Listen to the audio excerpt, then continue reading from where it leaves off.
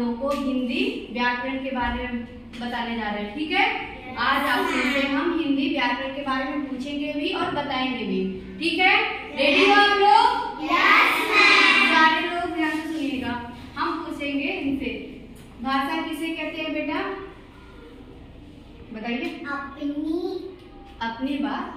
अपनी बात दूसरों को समझाना और दूसरी दूसरों की बात को दूसरों की समझने? समझने के साधन को भाषा कहते हैं। के साधन को भाषा है।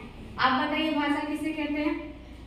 अपनी बात अपनी बात दूसरों दूसरों को समझाने समझाने और और दूसरों की बात दूसरों की बात को समझने के साधन को भाषा कहते हैं। को समझने के साधन को भाषा कहते हैं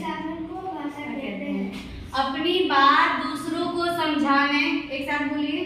अपनी बात